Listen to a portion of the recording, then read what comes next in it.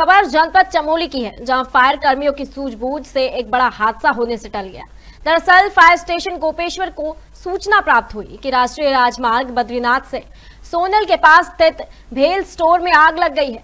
सूचना मिलते ही कोतवाली कर्ण प्रयाग चमोली के पुलिस टीमें और फायर स्टेशन गोपेश्वर तत्काल घटनास्थल पर पहुँची, जहाँ स्टोर में रखे सामान पर लगी आग लगातार भयंकर रूप लेते हुए तेज़ी से सोनला पेट्रोल पंप की ओर बढ़ रही थी।